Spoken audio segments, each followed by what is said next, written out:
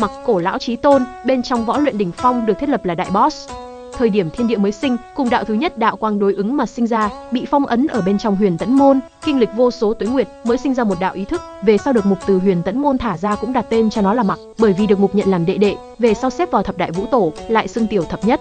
Mặc ngây thơ vô tri, đối với mọi thứ trong thế gian đều rất hiếu kỳ, mục dạy cho nó rất nhiều, cho nên nó cực kỳ tin cậy mục. Về sau thực lực cường đại, cùng với thập đại vũ tổ đối kháng qua yêu tộc, tại bên trong một lần nào đó đại chiến, mặc thể hiện ra lực lượng tà ác, mặc muốn khống chế lực lượng bản thân, nhưng nó căn bản không thể. Bởi vì lực lượng của mặc bắt nguồn từ năng lượng mặt trái của thế gian, mà lại càng ngày càng cường đại, thẳng đến ý thức của hắn cũng không thể khống chế, về sau bị mục lấy sơ thiên đại cấm phong ấn, mà từ khi mục vẫn lạc, mặc càng không thể khống chế lực lượng bản thân, triệt để trở thành nô lệ của lực lượng, sáng tạo mặc tộc làm hại thế gian. Nhân tộc cùng mặc chống lại vô số năm, bởi vì nhân tộc không biết vượt qua cảnh giới cửu phẩm là gì, cho nên tưởng rằng lực lượng của mặc chính là cảnh giới phía trên cửu phẩm,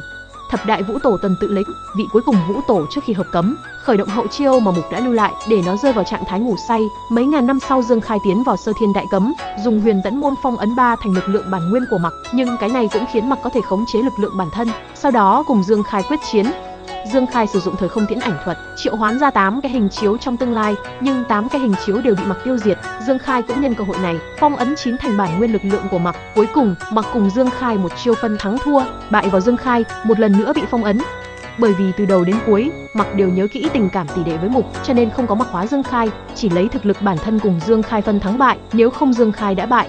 sau khi Dương Khai thành tựu sáng thế cảnh, đem đại bộ phận lực lượng của Mặc lưu ở bên trong Huyền Tẫn môn, một lần nữa thả ra tiểu thập nhất. Tiểu thập nhất nói rằng Dương Khai đạt đến sáng thế cảnh, chính mình đỉnh phong thời kỳ cũng không thể thắng, hắn cũng giải thích tạo vật chỉ là lực lượng đặc thù của Mặc mà thôi, cũng không phải là cảnh giới phía trên cửu phẩm. Cuối cùng tiểu thập nhất được Dương Khai dàn xếp để Phương Thiên Tứ cùng Lôi Ảnh trông giữ,